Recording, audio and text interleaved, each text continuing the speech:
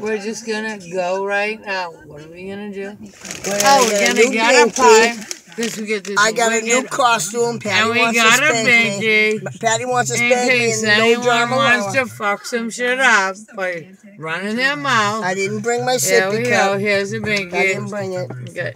Oh shit! There goes the letter. So, So I we'll brought my shower though. radio We're gonna check in after we get the pipe, and it's gonna be much more fun. Yeah. It'll be like nudity and tits everywhere. We're headed to Massachusetts No, to actually not. buy We're going to the Indian store, which is over the line of in Massachusetts, Salisbury, is Massachusetts.